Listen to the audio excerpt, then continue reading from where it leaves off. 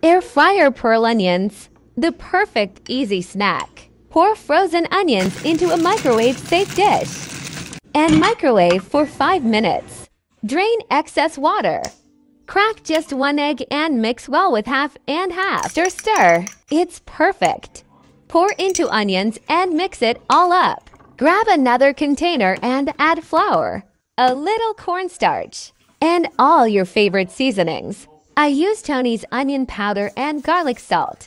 Mix that all up. Pour in your onions and toss. They should look like this. Spread in air fryer and cook at 400 for 10 minutes. Yeah, 400. But toss halfway through, really shake them up. And then finish cooking. So easy and so delicious. Have you tried them yet?